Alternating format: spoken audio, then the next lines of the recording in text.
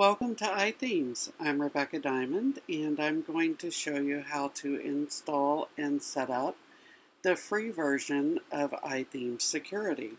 You'll want to log into your WordPress dashboard and go to Plugins, Add New.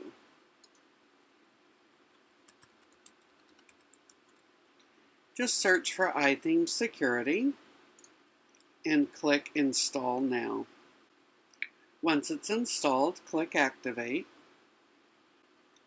and you'll see a new addition to your WordPress dashboard menu, Security. When you click Security, it's going to run you through a quick security check and enable and configure the following modules. We do recommend activating network brute force protection. In addition to the modules enabled by the security check, you can enable 404 detection, away mode,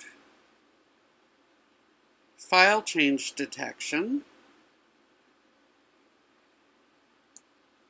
configure your SSL usage, and also enable certain system tweaks. As you can see, there are also additional modules available in the iThemes Security Pro version. And if you'd like to upgrade to that, just go ahead and click Get iThemes Security Pro. And that's it. That's how you activate iThemes Security, the free version for your WordPress site.